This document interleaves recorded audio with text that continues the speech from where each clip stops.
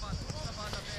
Partito ufficialmente il ritiro del Gubbio Calcio 2023-2024 in vista del prossimo campionato di Serie C. Dopo la due giorni di test medici e fisici, la squadra ha iniziato a correre nell'impianto del Benamino Baldi, campo di allenamento scelto per questa prima fase di preparazione, mentre il gruppo poi soggiornerà all'hotel Camino Vecchio di Fossato di Vico, con mini trasferimento quotidiano tra il centro Eugubino e l'area fossatana. Un contesto che rimarrà immutato almeno sino a fine mese, con poi la possibilità di uno spostamento sempre nell'area della fascia, con prima amichevole amichevole fissata per giovedì 27 con il Cosenza al Barbetti. Saranno settimane intense per il gruppo di mister Piero Braglia, sempre affiancato dal vice Domenico De Simone e dal preparatore atletico Vito Barberio, mentre come preparatore dei portieri c'è Cristian Tosti al posto di Giovanni Pascolini. Questo mentre la società continua a muoversi sul mercato con il direttore sportivo Mignemi e il direttore generale Pannacci impegnati a Milano per condurre le operazioni. E il ritiro Federico Casolari, mediano della primavera del Sassuolo classe 2003, che andrà a rimpolpare con la sua giovane età il reparto di centrocampo e c'è anche Alessio Di Massimo,